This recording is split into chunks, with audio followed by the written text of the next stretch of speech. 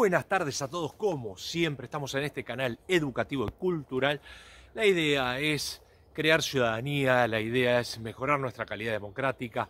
En este caso estamos con la Constitución de la Provincia de Buenos Aires, pero acá puedes encontrar todos y cada uno de los artículos de la Constitución de la Nación, elementos de filosofía política, ley orgánica de los partidos políticos, ley orgánica de las municipalidades, un montón de elementos que por ahí te pueden llegar a interesar.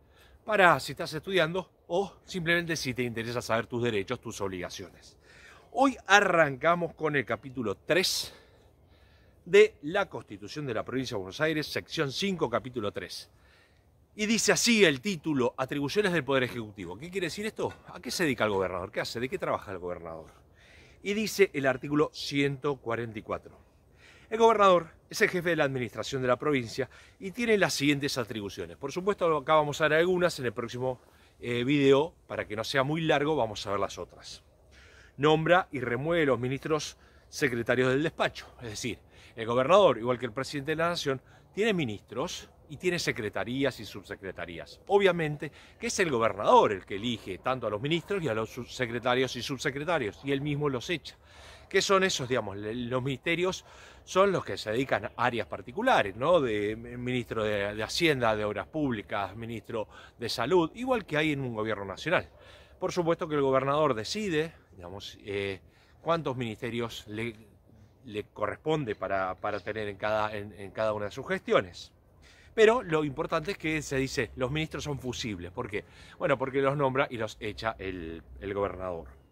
Inciso número 2. Promulgar y hacer ejecutar las leyes de la provincia, facilitando su ejecución por reglamento y disposiciones especiales que no alteren su espíritu. Es decir, promulgar y hacer ejecutar las leyes. ¿Qué significa esto? Esta es casi la función específica del gobernador, así como el presidente es el poder ejecutivo que se dedica a ejecutar las normas que se aprueban en el Congreso, el gobernador de la provincia lo que hace es ejecutar las normas que se aprueban en, en, la legislatura de la provincia, senadores y, diputados de la provincia. Es decir, lo que es, eh, de eso es la tarea específica del Poder Ejecutivo, ejecuta las normas. Inciso número 3 concurrir a la formación de las leyes con arreglo a la Constitución, teniendo el derecho de iniciativas por proyectos presentados a las cámaras y de tomar parte en su discusión por medio de los ministros. Bien, acá hay varias cosas. Es decir, es el Ejecutivo. ¿Puede el, gobernador hacer normas? No, no puede hacer normas. Puede sí enviar normas al Congreso, a la legislatura de la provincia de Buenos Aires, inclusive mandar a uno de sus ministros a defender ese proyecto, pero es una iniciativa. ¿Cómo corresponde, digamos, cómo concurre en este caso a la formación de leyes con arreglo de la Constitución? Punto número uno, el gobernador manda un proyecto de ley a la, legislatura.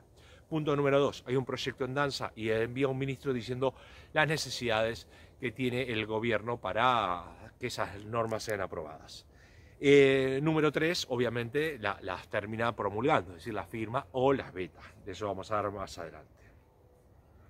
Punto número cuatro el gobernador podrá conmutar las penas impuestas por delitos sujetos a la jurisdicción provincial previo informe motivado de la Corte Suprema de Justicia sobre la oportunidad y conveniencia de la conmutación y con arreglo a la ley reglamentada que determinará los casos y las formas que pueda solicitarle, debiendo ponerse en conocimiento a la Asamblea Legislativa las razones que hayan motivado en cada caso la conmutación de penas, temazo de discusión en cada una de las reformas que hubo en la provincia de Buenos Aires. ¿Qué está diciendo este artículo?